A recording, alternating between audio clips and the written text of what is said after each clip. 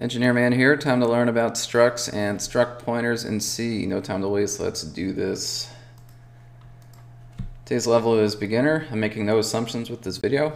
So first, what is a struct? Well, struct is short for structure, and it's a way of logically grouping items of different data types into one variable, different than a single variable, which would be a single data type. Today we're going to create a person struct, but there's tons of uses. You can store anything in a struct, including other structs.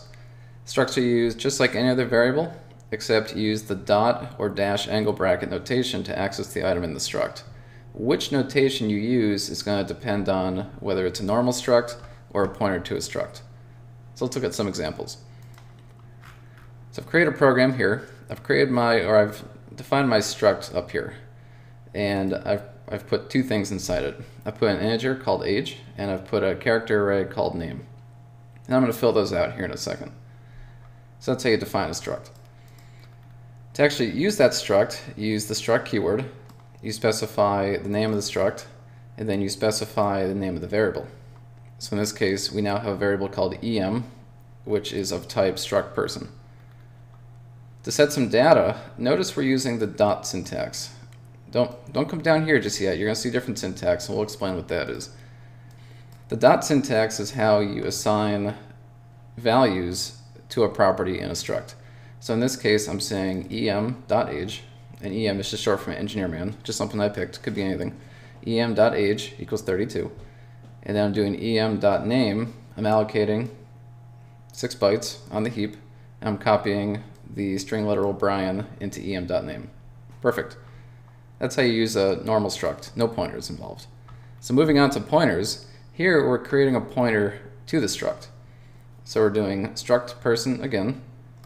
We're doing star em pointer, and we're taking the address of the em struct, and we're assigning it to the em pointer variable. So now we have a pointer to struct. This is where the syntax changes slightly. You can still use the dot syntax, but you would first have to dereference that struct. If you watch my other videos, you can learn about dereferencing.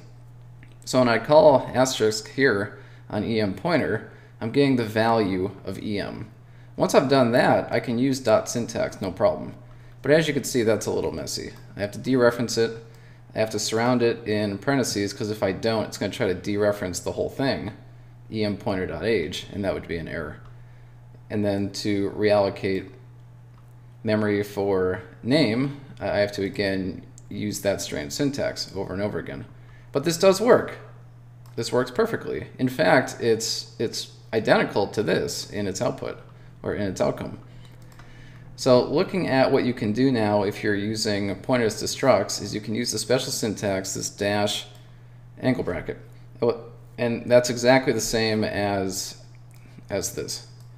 So in this case, you could just do em pointer dash caret age 34, em pointer dash caret name, reallocate em pointer dash caret name, put 8 bytes on the heap, and then put the string literal Brian exclamation mark exclamation mark into em pointer name.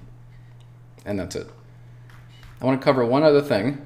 If you didn't want to do this, type out struct person, you could use something called a typedef. And typedefs are something I'll cover in another video more in depth. But if you wanted to shorten that, you could put typedef there. You could remove person from there, add it down here. And what you're essentially saying is define this as type person rather than type struct person. If you were to do that, you could just drop struct off of here, and that would be perfectly valid. It's just a way of shortening it. But again, I'll cover that in more depth in another video.